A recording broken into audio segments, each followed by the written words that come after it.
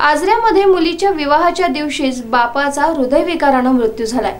यामुळे सर्वत्र हळहळ व्यक्त केली जाते. सर्वच धर्माचे नागरिक त्यांना शेवटचे पाहण्यास या नागरिकांनी हजेरी लावली.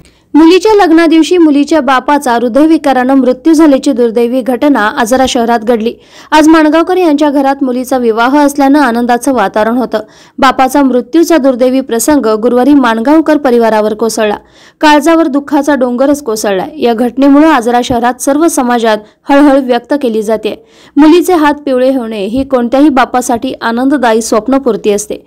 मांगल्याचे हे क्षण अनुभवणं हा जीवनाचा सार्थकी सोहळा असतो. सोहळा पाहण्याआधीच हसन साब अब्दुल माणगावकर प्राध्यापक यांना मृत्यूनं गाठलं. गुरुवारी मुलीच्या विवाहाच्या दिवशीच बापाची प्राणज्योत विजली आहे. हसन साब माणगावकर हे आजरा महाविद्यालय आजरा इथं प्राध्यापक म्हणून कार्यरत होते.